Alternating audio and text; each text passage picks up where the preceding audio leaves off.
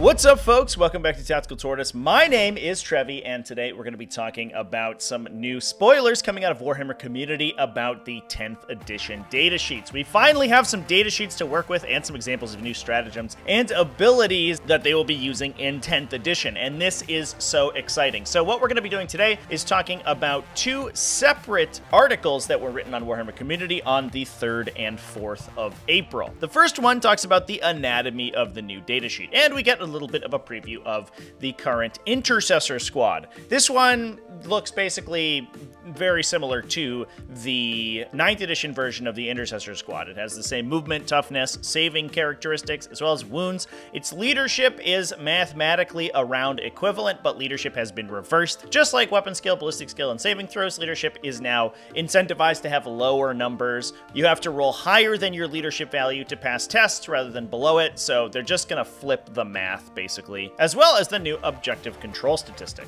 Now, there have been a lot of questions about objective control and exactly what it means, and the article does specify. When you are determining who has control of an objective, you count up the total objective control of all models within the objective range. So if you're standing within 3 inches of the 40 millimeter objective, assuming that objectives have the same range and work the same way as they do in 9th edition, if you have 5 models that have OC2, you're going to have a objective control of 10, whereas if your opponent has 9 models with OC1, they're going to have an objective control of 9. 5 models with extra OC are going to steal that objective away. Now, they've also specified that a lot of models that are currently troops will likely have higher OC values. They aren't going to have battlefield roles anymore, so they aren't going to be getting special objective holding abilities from their detachment rules because battlefield roles have been removed. We are now just using the rule of three, so you can take three units of each data sheet, regardless of what battlefield role they filled in the previous version of the game. And they also mentioned that vehicles and monsters will also have much higher OC values. So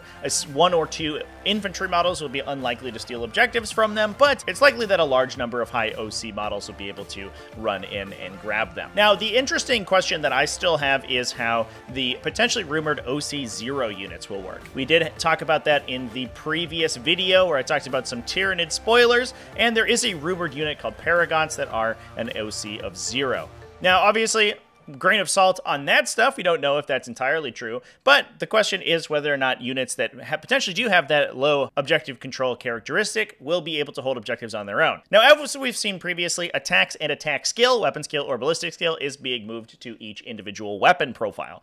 This gives the, um, the opportunity to have different ballistic skill or weapon skill values for different weapons. So if we have something like a regular melee weapon, a chainsword, for example, and on top of that also a power fist, we can just, instead of giving the power fist minus one to hit using the unit's core weapon skill, we can just give it a lower weapon skill to begin with, which just make things a lot easier. It's also going to make things a lot easier to reference, and you can just track down the line and you don't have to look back up to the unit's core stat block and then back down to the weapon when determining what you need to roll on each step of your attack sequence. Now they have clarified as well that the attack sequence is remaining largely unchanged. You're going to roll a number of dice equal to your attacks. You're going to try to roll on whatever your attack skill is, whether that's weapon skill for melee attacks or ballistic skill for ranged attacks. Then you're going to roll strength versus your opponent's toughness. If your strength is equal to their toughness, you'll need a 4 plus. If it's higher, you'll need a 3, and if it's lower, you'll need a 5. Although, as has been previewed in the past, a lot of the defensive characteristics of units are changing, and we will see that made manifest in the next article that we'll talk about. Now, another interesting thing about weapon profiles is that a lot of weapon types have also been removed. We're no longer going to see weapons being a, you know, rapid fire 2 weapon as their weapon type. Instead, they're just going to have a number of attacks and have the rapid fire special weapon attribute. Now, exactly what a lot of those do are still up in the air, but we do have a couple previews of some really important ones. And to take a look at that, we'll look at the next article, which is talking about the datasheet of the new Space Marine Terminators. So these guys are the brand new shiny kit of enormous Terminators. They look about a head taller than the current sculpt of Terminators, which is certainly showing its age. And uh, oh man, do they look good, both in the model and on the tabletop. We do have a quick sneak peek at the entirety of their datasheet here. They're coming in at move 5, toughness 5, going up a point of toughness from their previous incarnation. And again, those defensive profiles are all going to be increasing to make the game less lethal. So things are going to be much harder to kill. They retained their characteristic 2 plus armor save, three wounds, solid leadership, but only have an objective control value of one. So, unlike those intercessors, they're going to have objectives stolen from them by normal, regular infantry a lot more often. These guys are here to kill models off of objectives, not necessarily just to hold territory. We can also see a couple of changes to their weapon profiles. The assault cannon has the devastating wounds characteristic, and we don't know what that means currently, but it has dropped an AP value. It still has six attacks and hits on threes, which may mean that it no longer suffers a heavy penalty since uh, you know there are no heavy weapons in the game. So it looks like moving and shooting with your assault cannon will no longer cost you minus one to hit. They are still strength six, but at an AP of zero. However, that devastating wounds may have an impact. In the past, assault cannons have had the rending ability, which gives them a high AP value on wound rolls of six, and it may be that that devastating wounds represents that. The Cyclone missile launcher gives us a peek at the variable payload weapons, and I love how they've demarcated them. They're just listed under a single line in the spreadsheet on the datasheet,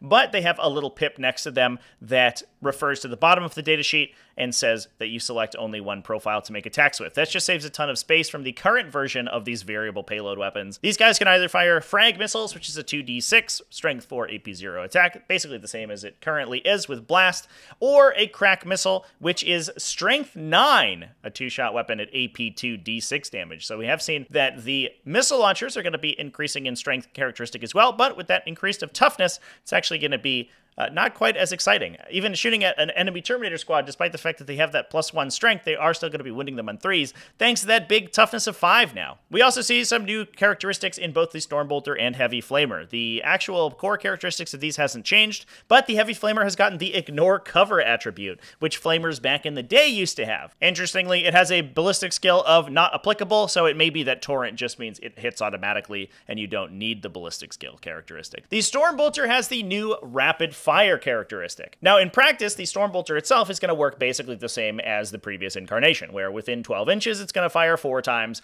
but within 24 it's going to fire only two.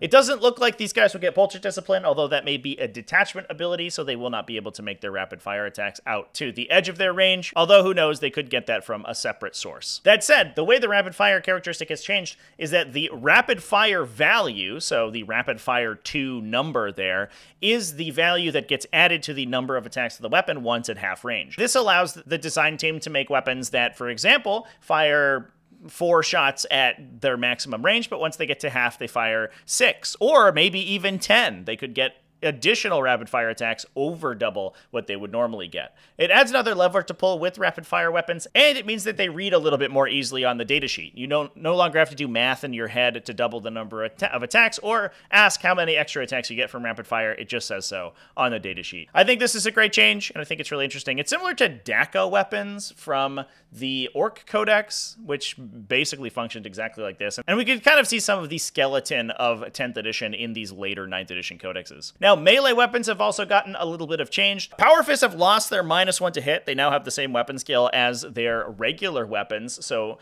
the Sergeant has a power weapon with four attacks, as we can see. Regular Power Fist equipped models have three attacks, so lower attack value, but hit on threes with the same AP as the power weapon. Power weapon's going down a couple points of AP, down to AP2, both on the fist and power weapon variety. Now, the Chain Fist has also lost two points of AP, going from AP4 down to AP2, and retains its minus one to hit, being at a 4 plus weapon skill, and going from D3 damage to a flat 2, which uh, honestly is a little bit unfortunate, but we'll have to see how often damage reduction effects pop up in this edition. In some points of the metagame, damage reduction was all over the place, and a Chain Fist became significantly better than a Power Fist just for its ability to randomly spike up if you rolled a 3 on your D3. But it has traded that for the anti-vehicle 3 plus keyword. This means that despite the fact that it's strength 8 and a, lot of vehicles are going to be toughness 9 plus, the Chain Fist always wounds any vehicle unit on a 3 plus. That's what the anti-unit ability means. Now they use the terminology critical wound here. These are basically just automatic wounds. Critical wound is a wound that is applied regardless of the toughness of the enemy. So while it does sound like it's, you know, doing a headshot or something, it basically just means that it has what is currently uh,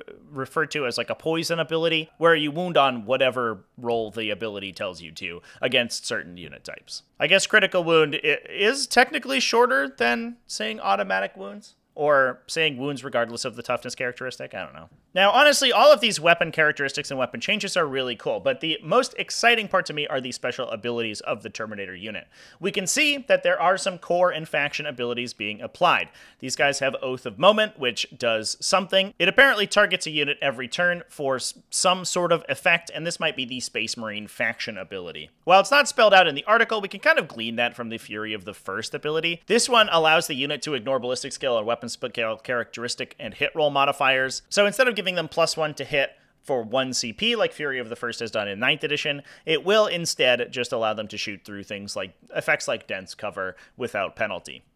In addition, they do get that plus one to hit if they target the unit that you selected with Oaths of Moment. We don't exactly know what that means again, but something about selecting a unit to be killed, I guess.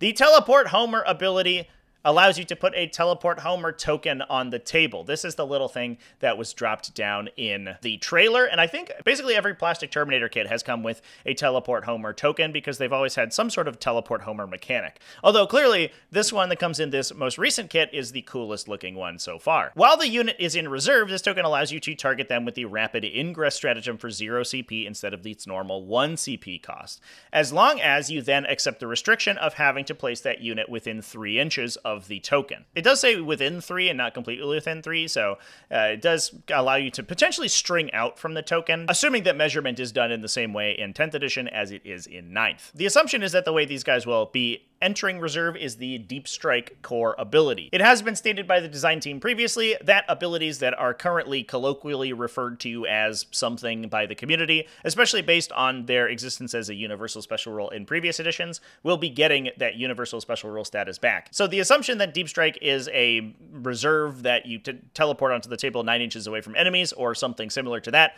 is basically guaranteed. Now the important thing here is exactly what Rapid Ingress does, and this is our first look at the new format for stratagems in the game. And honestly, this is absolutely awesome. The way that the stratagem is laid out is so much more legible than the word salad that the design team was feeding us previously. Now stratagems have a CP cost near the name. Love it. There is a little icon near the name. I imagine that that means that it is a strategic ploy stratagem, and so that may be referenced by some abilities, such as in the past we've had abilities that reduce the cost of specific categories of stratagems, but again, we just don't know quite yet. However, underneath that, the stratagem specifies the timing of when it is used, the target it can be used upon, the effect that it has, and then any additional restrictions it imposes. And it's so clear. I love it so much. It's like they actually had a rulebook designer come down and read their game and go like, guys, I have some notes for you. This is what you need to do to make your game actually playable. Oh my god, it looks so good. So, it, what does this stratagem do? Well, you use it at the end of your opponent's movement phase. When you do, you target a unit from your army that is currently in reserves. What happens when you do that? It can arrive on the battlefield as if it was your reinforcement step. So for basically one CP, you can pay to have a reinforcement step for one unit at the end of your opponent's movement phase instead of the end of your own movement phase. Now, this depends a lot on whether there are additional restrictions on deep strikes and reserve abilities in 10th edition and exactly how those abilities operate. If we were to just to transpose the reserve abilities from 9th edition into 10th edition, this stratagem would be absolutely incredible. And uh, I'm kind of hoping that it works this way in 10th edition as well. The reason for that is that a lot of the restrictions imposed on units, especially about moving after they're set up in the battlefield, only affect them for the turn uh, on which they're set up. So what you can do with the stratagem is at the end of your opponent's movement phase, place your reserve unit somewhere that's relatively protected in cover uh, beyond line of sight, but in a still a reasonable striking distance of an objective or your opponent's army. Your opponent has already moved at this point, so they can't then reset up and reshuffle to deal with that teleporting unit. So you should be able to place them pretty comfortably out of your opponent's line of sight, or at least out of reasonable danger. Once their turn is over, it comes back to your turn. You can immediately then move that unit attack, and charge with them. So it allows you to set up your units in a position where they could potentially move in closer to enemies than they would normally be able to deep strike in if they were using the normal deep strike rules.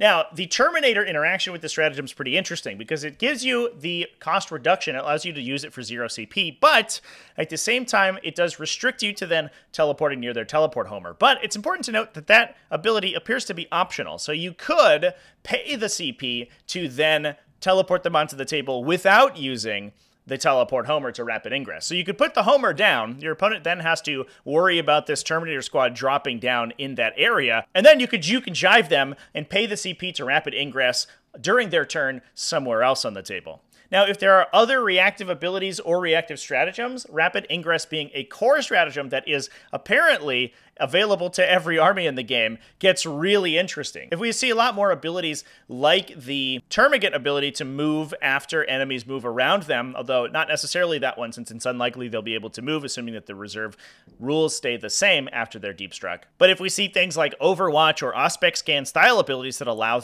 units to shoot or interrupt the opponent's turn, a stratagem like this to put really annoying units in your opponent's face during their own turn, or even deploy screens for your other units out of sequence where your opponent moves up to try to charge you, maybe going for a long bomb charge, and you use this stratagem to target a unit that's in deep strike and deploy them in front of the units that they're going to charge, makes things really interesting. And I think the amount of play and counterplay that this stratagem makes available to a game of 40k is really interesting. Now, importantly, your unit has to already be in reserves to be targeted by rapid ingress, and we don't quite know yet exactly how units will enter reserve. It is likely that one of the ways to do it will be having the deep strike rule. And I would be shocked if we didn't see some other similar abilities elsewhere in the core rulebook. Things like Outflank are ripe for being added to a universal special rule ability, so we could see things like strat um so we could see units like Space Marine Scouts get getting the ability to enter reserve in addition to units that are deep striking with teleporters. Rapid Ingress itself doesn't allow you naturally to enter reserve, you already have to be there. But whether or not there are abilities like strategic reserves in the current version of the game where you can pay CP or even just enter reserve for free with any unit in your army could make this stratagem exceptionally powerful. Now, importantly, it doesn't change exactly where the unit sets up on the table, it only changes when it sets up on the table. So, whichever reserve rule you are using to enter reserve will most likely explain to you how to set that unit back up. You're just going to change from doing that in your own reserve step to the reinforcement step of the opponent's turn, or after the reinforcement step of the opponent's movement phase. Overall, super cool. And I think the most interesting thing for me here is the new format for stratagems. It looks so good. It's so legible. And if every stratagem in the game is written this way and is as concise as Rapid Ingress, the uh, playability of the game is going to improve monumentally. This also gives us a pretty good look at the interactive and interruptive style of play that they're going for in 10th edition. Again, I just spelled out a bunch of different situations in which you could use a stratagem like a Rapid Ingress, and that's only one stratagem. And anyway, that's all for today, folks. Just a little bit of a short video to talk about some of these really exciting pieces of news that we've gotten from Warhammer 40k 10th edition. Let me know down in the comment section what you think about these changes. Big thanks for watching all the way to the end of the video. Thanks as well to everybody who supports the channel, either over on Patreon at patreon.com slash tactical tortoise, YouTube channel members, and Twitch subscribers. All you people are great. I love you. Remember to keep it classy, folks, and have happy wargaming.